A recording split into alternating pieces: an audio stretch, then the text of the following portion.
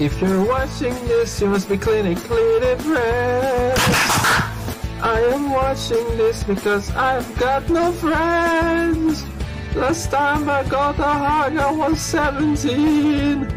When people say socialize, what do they mean?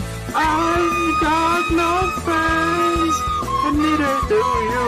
You've got no friends, and neither do I. We've got no friends, and that's why we're watching this.